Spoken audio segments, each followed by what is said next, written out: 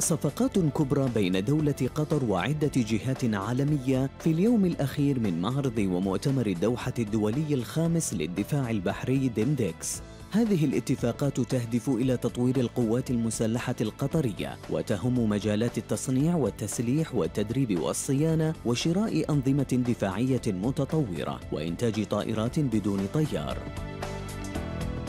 طائرة قطرية بدون طيار ستحلق قريبا في أجواء الدوحة. كانت هذه واحدة من المفاجآت التي كشف عنها خلال المعرض.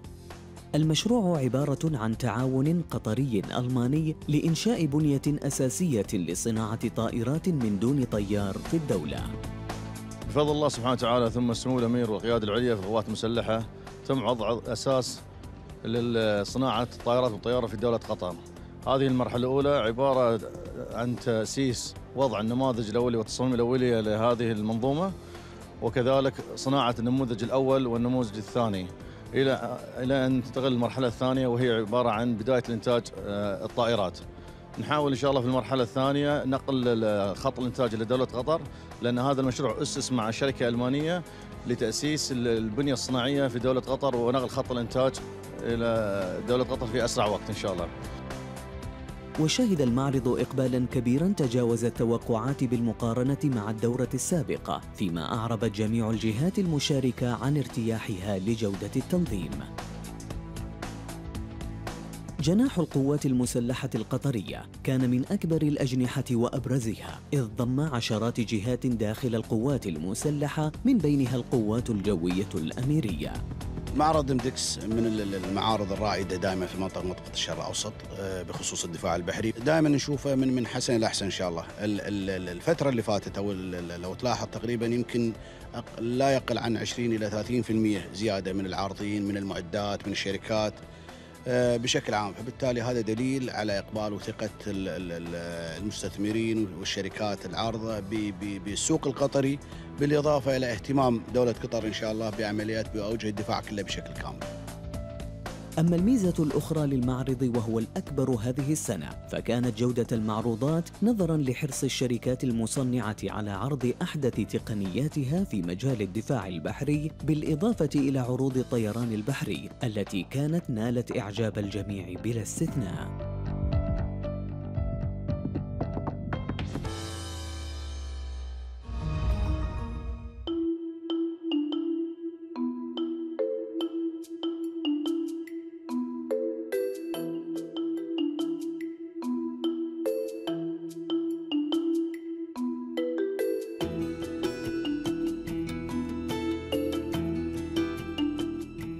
في إطار جهودها نحو تطوير استخدام التكنولوجيا الحديثة لخدمة الطب. بدأت مؤسسة حمد الطبية استخدام أحدث تقنيات الروبوت لعمليات جراحة السمنة في مستشفى الوكرة. وقد بدأ الطاقم الطبي في المستشفى استخدام نظام الروبوت دافنشي إكس آي الذي يعد الأحدث والأكثر تطورا في هذا المجال.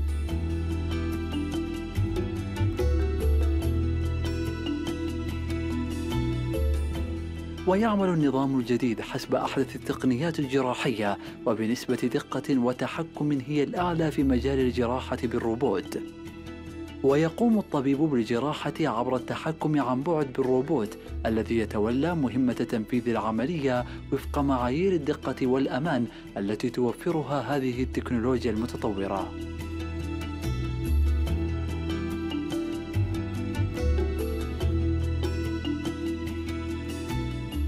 وكانت مؤسسة حمد الطبية قد بدأت استخدام تكنولوجيا الروبوت في هذا النوع من العمليات الجراحية منذ عام 2013 غير أن إدخال الجيل الأحدث من هذه الروبوتات في الخدمة في مستشفى الوكرة يشكل قفزة نوعية في مجال الاستفادة من التكنولوجيا لتعزيز سهولة وأمان العمليات الجراحية في الدولة.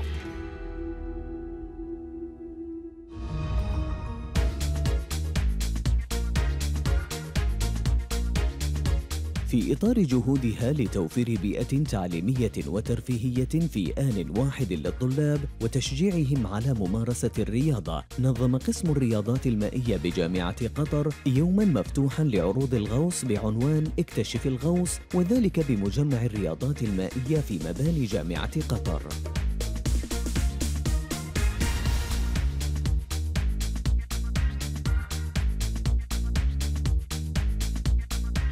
تأتي هذه الفعالية تأكيدا على الاهتمام بالجانب الرياضي والصحة البدنية ولا سيما وأن الجامعة تربطها علاقات وطيدة مع مختلف الجهات الحكومية والمؤسسات الخاصة في الدولة المعنية بالرياضة وتحظى بدعم واسع كجامعة وطنية رائدة في المنطقة. نوع النشاط اللي إحنا نقوم فيه هنا هو نوع النشاط آه، في اكتشف الغوص وهو الغطس آه، تحت الماء في بركة الجامعة للسنة الثانية في جامعة قطر هو اكتشف الغوص هو فعلا كمسماه اكتشف الغوص.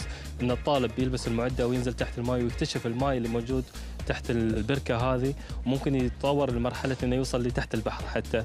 فهذا اكتشاف لمرحلة أو عالم جديد تحت الماء وتهدف الفعالية إلى توفير فرص مميزة لجميع الفئات العمرية من الطلبة للتعرف على الأنشطة المتعلقة بالغوص وأنواعها يشار إلى أن الفعالية حظيت بمشاركة جهات حكومية متعددة متخصصة في مجال الغوص كأمن السواحل والأخوية وغيرها في إطار تبادل الخبرات والمهارات مع جامعة قطر.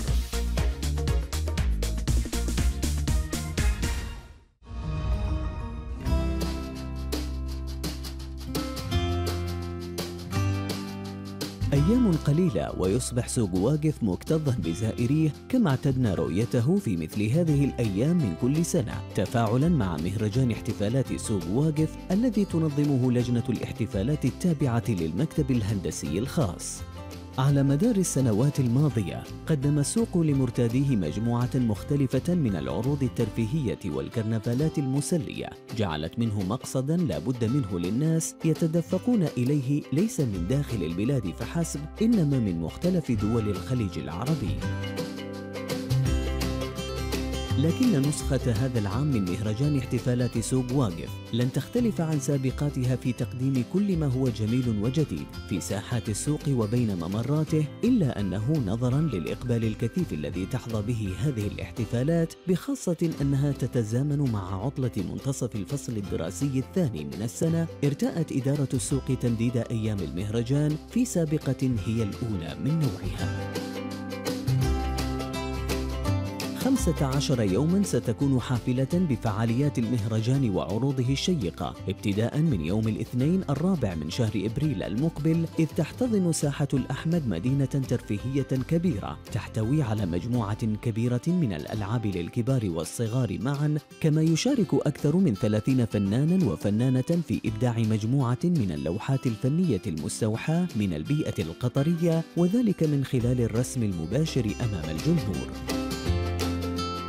أما ممرات السوق فسوف تشهد عروض الفرق الشعبية التي دائبت إذاعة صوت الريان على تنظيمها خلال مهرجانات السوق المختلفة بخاصة في هذه الأجواء الرائعة التي تتمتع بها قطر هذه الأيام.